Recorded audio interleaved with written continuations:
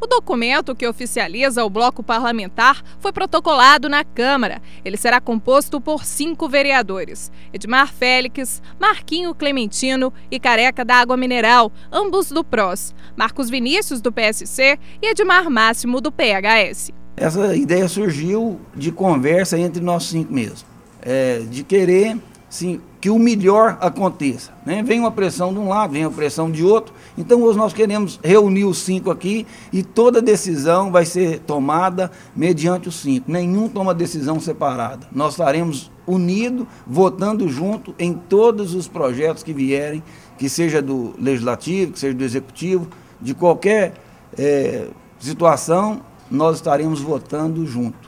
A medida inédita em Divinópolis dá liberdade e poder efetivo aos vereadores, que passam a ter uma decisão expressiva na votação dos projetos. A intenção é todos os projetos que forem para ser votados, né, essa comissão será, estará reunindo para que nós possamos chegar a um consenso melhor. Porque eu tenho uma ideia, ele tem outra, o outro tem outra, então nós vamos chegar nesse consenso para poder ter a certeza de estar fazendo o melhor para a nossa cidade.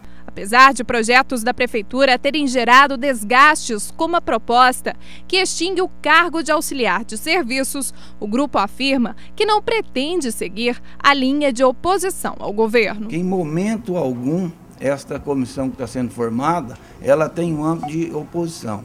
Em momento algum nós queremos é, ser oposicionista ao governo. Nós queremos trabalhar para o bem comum. Se votar o projeto favorável ao governo do, município, é para o bem melhor, pelo bem da, da, população, estaremos votando a favor do, do, do, executivo.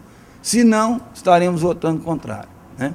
Vai ser um consenso entre os cinco.